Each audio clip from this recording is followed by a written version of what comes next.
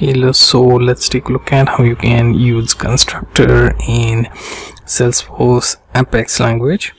So first log into your developer edition of salesforce and then click on setup icon and go to developer console. After that in developer console we go to debug menu then open execute anonymous window. Now if you have any existing code remove that and then let's start writing our class.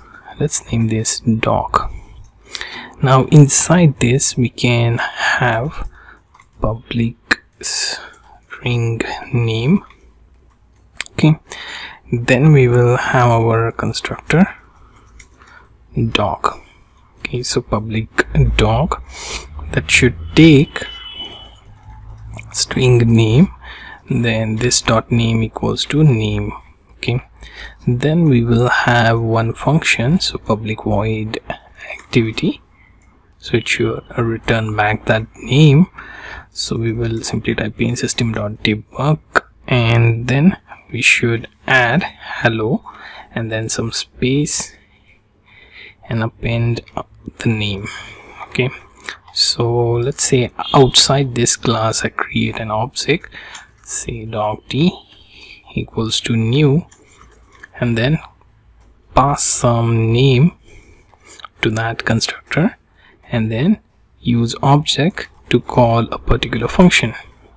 That is basically returning back the name that we passed through constructor. So we'll execute this and in log we will check user debug value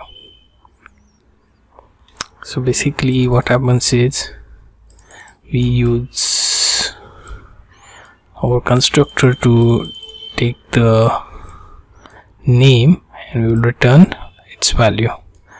So using for hip then here. Okay so let's search for that. Static variable. Okay let's check for output. User debug. Okay here you see. Hello tom.